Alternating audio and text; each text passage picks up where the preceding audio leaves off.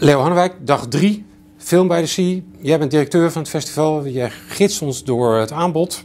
Waar moeten we morgen op letten? Nou ja, de jury heeft vandaag, uh, begint nu echt te kijken. Want op maandag, dinsdag, woensdag kijken zij minimaal drie films per dag. Dat is nogal wat.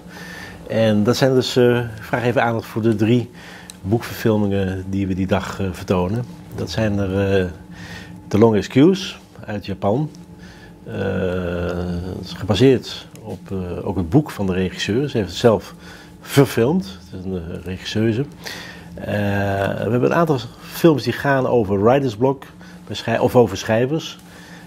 Ook in competitie. That Good Night, die we later vertonen in de week met John Hurt, is ook zo'n voorbeeld over een uh, schrijver. Maar dit is The Long Excuse. Het gaat over een Japanse schrijver. Zijn vrouw is overleden, hij komt niet meer tot schrijven. En dan gebeuren er allerlei bijzondere dingen. Het doet een beetje denken aan Murakami.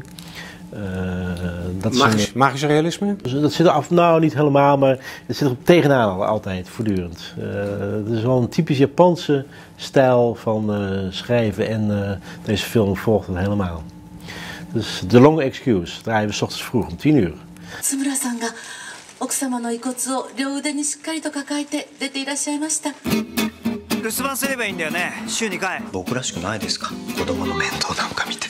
そもそもこういうことでも書かなきゃあんたもう書けないんじゃないんですか？って言ってんすよ。思い通りかざまあねんだと言ってか？優れた優れた私はボリグラ僕はね夏子が死んだ時他の女の人と寝てたんだよ。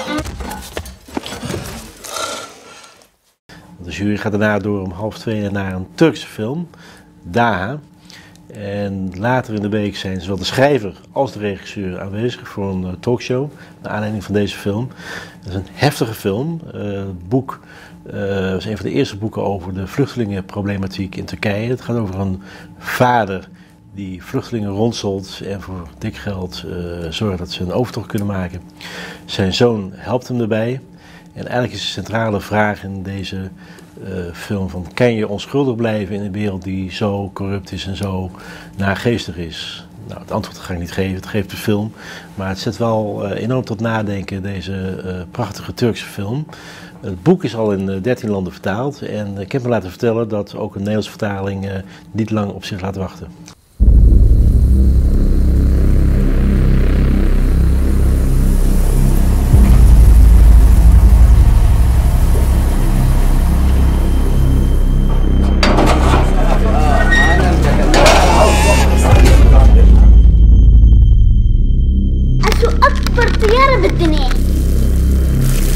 Sana.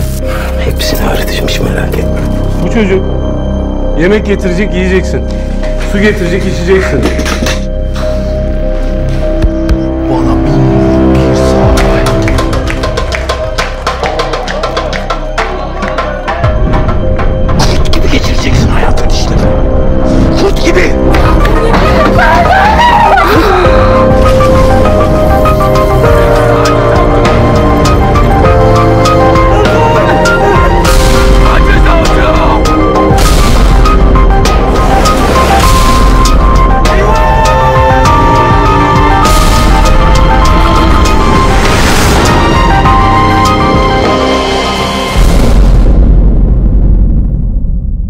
Wat komt de, de, de filmmaker doen hier? De filmmaker komt uh, met het publiek uh, praten uh, in een talkshow met de schrijver. Dus dat is al, altijd aardig. Hè? Dan kan je ook vragen stellen aan zowel de schrijver als de filmmaker. En het is een film die niet is aangekocht voor distributie in ons land. Dus de regisseur hoopt natuurlijk dat er distributeurs zijn die zeggen van ja, dat is een fantastische film en het boek komt uit. We gaan de film aankopen en in release brengen in de Nederlandse bioscoop. Oké, okay. maar het is eigenlijk een unieke kans om hem hier te zien. Ja, ja, we hebben in totaal ongeveer uh, bijna 40 films die niet in de Nederlandse theaters uitkomen. Op een totaal van 104 films. Uh, dus je kan de Vlissingen afreizen om hier uniek en eenmalig films te zien. Die anders misschien niet te zien krijgen. En we hopen natuurlijk dat een aantal distributeurs het zal aanzetten om films aan te kopen. Filmtip 3? The Berlin Syndrome. Berlin Syndrome, zo heet de film. Kate Shortland. Eh, Kate Shortland is een Australische filmmaakster. En we kennen haar vooral van uh, Lore, een, film die speelde zich af uh, in de zoektocht van kinderen naar, een, uh, in, na de Tweede Wereldoorlog in Duitsland. prachtige film. Burner Syndrome is een film over een Australische backpacker. Die naar Berlijn gaat en daar een alleraardigste jongen ontmoet. Maar is hij wel zo aardig? Het is eigenlijk een hele spannende film. Is het een thriller? Het is een thriller, zeker. Ja, ja, ja. Het is een, het is een echte thriller.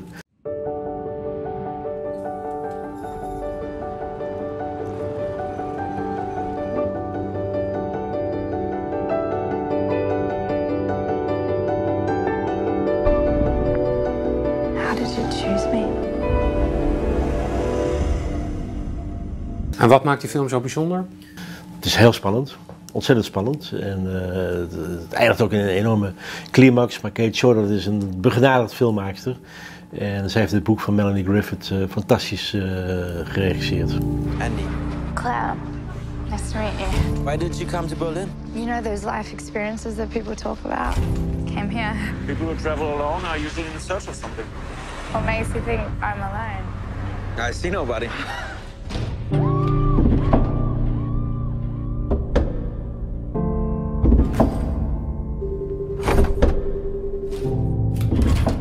quiet. Berlin is full of these empty places. I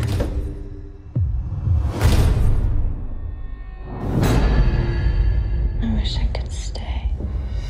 Are we too late? Are we too late to be blue? I didn't think I'd be able to get back in, and then I realized that I couldn't even leave. Is it too soon? Is it too soon to run? Did you leave me a key? Yes, sure. But next time, I'll tie it to the bed. I don't care if I'm in too deep to... No one will hear you. Maybe life's just simply done. You said you want to stay? Open the door!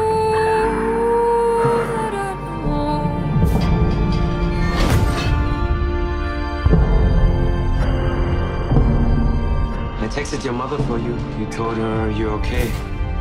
But I'm not okay. You're all that I could do so many things. I just want to do this. You're abnormal. What would be the worst thing I could ever do